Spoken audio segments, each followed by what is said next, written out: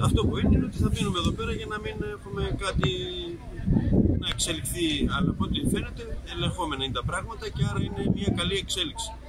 Άρα προστασία, προσοχή όλοι, να παρακολουθούμε τι γίνεται γύρω μας, ποιοι κινούνται, γιατί δυστυχώς πρέπει να αυτή την περίοδο και σε τέτοιες καταστάσεις να παρακολουθούμε και τι γίνεται γύρω μας. Γνωρίζουμε πώς ξέσπασε η φωτιά. Δεν ξέρουμε ακριβώς, αλλά ε, επειδή φοβάσαι για πολλές περιπτώσεις και τι μπορεί να είναι πίσω από. Ε, Πολλές φορές αυτά δεν είναι τυχαία.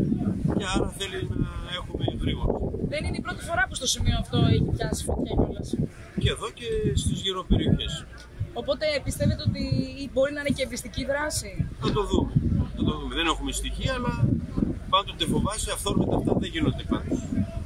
Οι δυνάμεις που έσπασαν εδώ ήταν πολύ Γρήγορα. Γρήγορα και αρκετές.